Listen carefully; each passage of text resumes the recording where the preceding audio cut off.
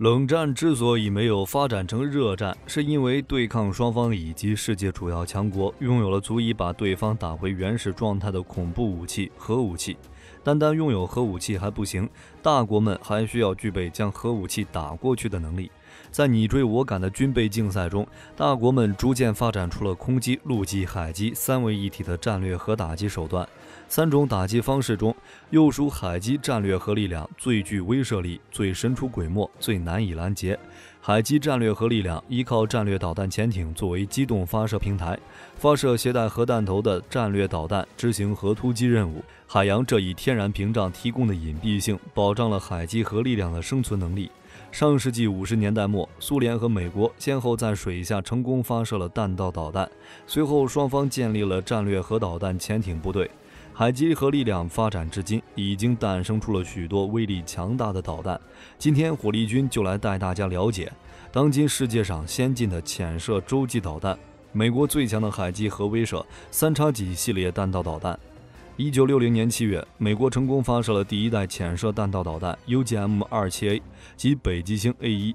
同年十一月，北极星 A 一导弹就在美国海军的乔治华盛顿号核潜艇上形成了战斗力。该导弹最大射程两千二百千米，但精度不是很可靠，不适合攻击加强战略目标。由于北极星 A 一的研发时间很短，所以具备了很大的升级空间。所以美国很快又研制出了北极星 A 二导弹和北极星 A 三导弹，射程分别提升到了两千八百千米和四千六百千米，精度也有所提升。北极星 A 三导弹最终取代了 A 一和 A 二型导弹。到一九七四年时，在军队中服役的只剩下北极星 A 三了。作为第一代潜射导弹，北极星 A3 逐渐被美国的第二代潜射弹道导弹 UGM-73 取代。UGM-73 导弹又名海神 C3 导弹。，1971年，装备美国海军共生产了619枚，装备了31艘拉菲特级、麦迪逊级和富兰克林级导弹核潜艇。海神 C 三导弹射程和北极星 A 三的射程相当，但体积更大，可携带更多的核弹头。海神 C 三采用了两级固体火箭发动机的动力系统和惯性制导方式，具有精度高、有效载荷大、生存能力强的特点。该导弹可携带八到十个分导式子弹头，每个子弹头的核当量约为五万吨。海神 C 三是当时美国海军最重要的海基核威慑力量，它一直在美国海军中服役，直到被最近的三叉戟导弹取代。三叉戟潜射弹道导弹是美国于六十年代后期研发制造的第三代潜射弹道导弹，可分为三叉戟一型和三叉戟二型。其中，三叉戟二型导弹仍在美军现役，部署了三十多年，依旧遥遥领先，是美国最强的海基核力量。一九七一年九月，美国海军启动了 ULMS 一水下远程导弹系统一型的计划，要求开发出能结合星光惯性制导、比海神 C 三导弹射程更远的弹道导弹。主承包商洛克希德公司提出了一个分为两阶段的计划，第一种是开发一种海神导弹的衍生型，称为增程型海神。这种导弹比海神更先进，却与海神 C 三导弹具有同样的大小和尺寸，可以装载到已有的导弹核潜艇上。第二种是开发一款全新型号的导弹，新导弹拥有更大的体型和载弹量，不过也需要建造新的核潜艇来装载。随后，第一种发展方案成为了三叉戟一 C 四型导弹，后者发展成了三叉戟二 D 五型导弹。洛克希德公司于一九七四年获得了三叉戟一型的研制合同。我们可以将三叉戟一型看作是海神 C 三导弹的进化型，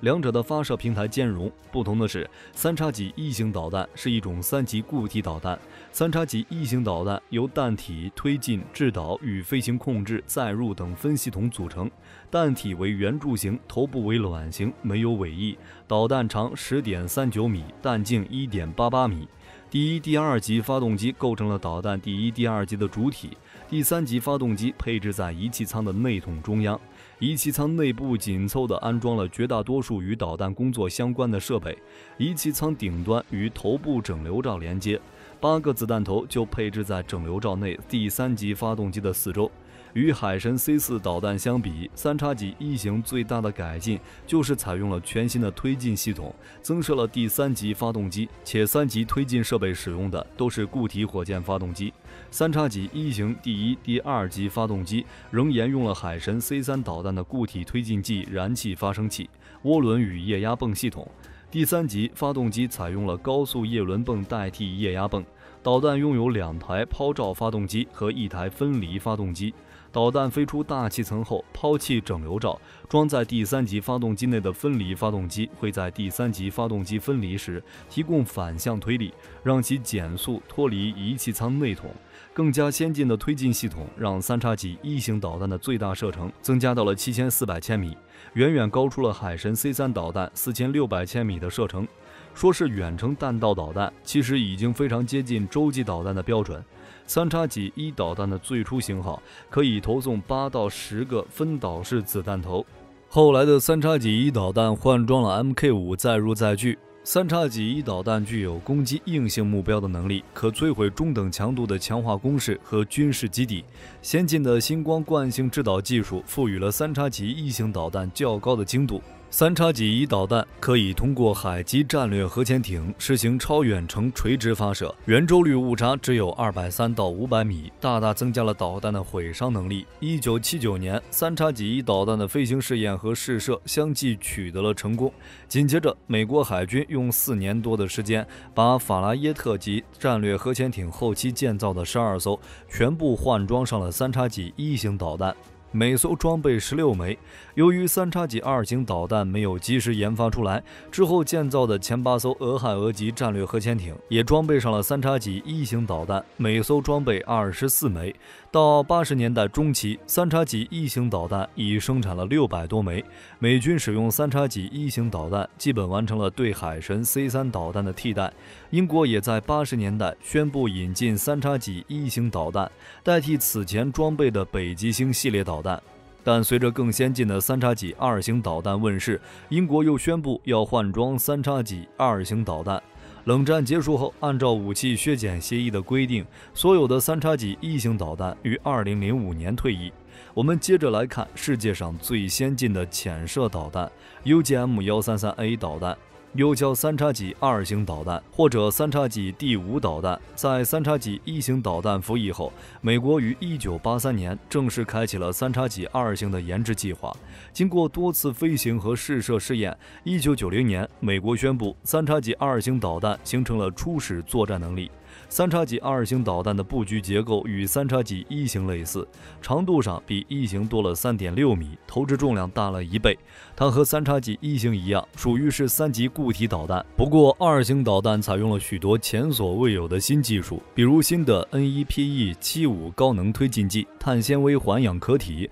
GPS 星光惯性联合制导等。更大的体积让三叉戟二型导弹可以携带十四枚核弹头，但在削减战略核武器条约的限制下，一般只携带八枚核弹头。装载的 W 八七二一型核弹头的当量可达到四十七点五万吨。三叉戟二型导弹的射程最远可达到一万两千公里。极远的射程让搭载三叉戟二型导弹的核潜艇不用深海巡逻，也不用冒险逼近敌方近海，直接在美国海军港口内就能发射，可打击到北半球的任何一个位置。三叉戟二型导弹可以搭载在美国的俄亥俄级战略核潜艇上。每艘潜艇搭载二十四枚，也可以搭载在英国的前卫级核潜艇上。每艘潜艇搭载十六枚。三叉戟二型导弹的载入载具可以用 GPS 修正精度，误差只有九十米。核武器的巨大威力，再加上如此高的精度，使得三叉戟二型导弹具备了进行第一波攻击和打击硬目标的能力，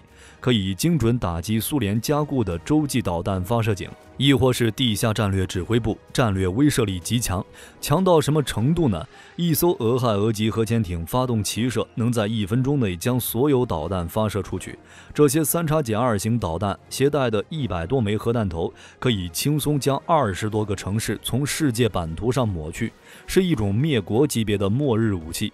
三叉戟二型导弹服役后，其他的潜射导弹，比如海神 C 三和三叉戟一型导弹，好像瞬间失去了存在的意义。随着三叉戟一型导弹的退役，三叉戟二型 UGM 幺三三 A 导弹成为了美国海军唯一的战略核力量。在和平卫士导弹退役、民兵三导弹使用单弹头后，三叉戟二型导弹又是美军拥有的唯一的分导式多弹头洲际导弹，是美国所有核力量中最重要的一部分。